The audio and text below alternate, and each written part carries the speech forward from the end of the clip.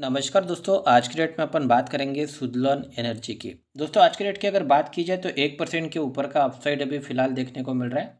अभी मैं live recording कर रहा हूँ, बारह बज के चार मिनट का टाइम हो रहा है। तो अभी आगे की क्या यहाँ पर रणनीति होनी चाहिए दोस्तों? इससे पहले थर्टी फोर थर्टी फाइव के लेवल से सेलिंग प्रेशर देखने को मिला था।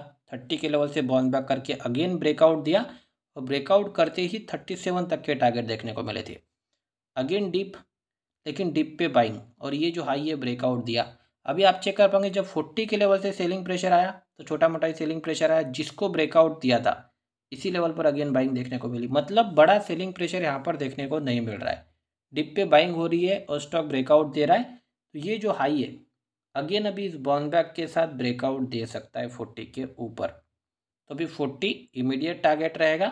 फोर्टी के ऊपर अगर ब्रेकआउट होता है तो यहाँ से अभी फोर्टी फोर तक के टारगेट आपको शॉर्ट टर्म में सुदलॉन एनर्जी में देखने को मिल सकते हैं। तो ये जो इसका रिसेंट लो है, एक इमीडिएट सपोर्ट का काम करेगा। थर्टी सेवन और थर्टी सेवन फोर्टी का लेवल और जब तक थर्टी फोर के ऊपर है, तब तक अभी अपसाइड की ही संभावना बनी हुई है।